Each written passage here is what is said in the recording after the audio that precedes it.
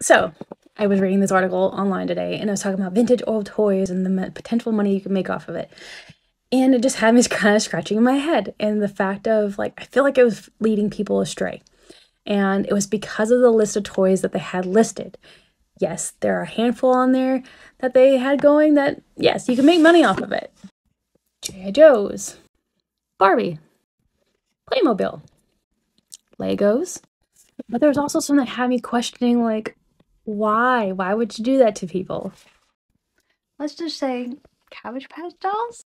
And that was because a couple had a 5,000 doll collection up that they're trying to sell for $30,000. That's kind of misleading. Or Beanie Babies doll. Beanie Babies. Don't get me wrong about Beanie Babies. There's Claude the Crab who has an air tag and can be up worth up to thousands of dollars.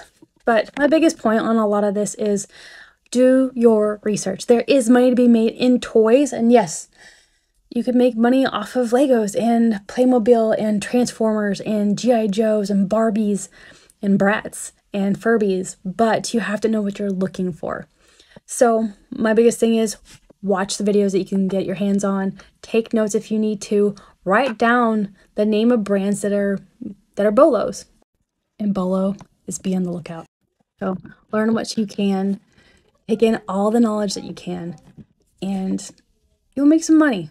But do not let these articles just send you astray and into the wild, thinking that every little thing on their list is going to be worth something. So if you have any questions, let me know down in the comments.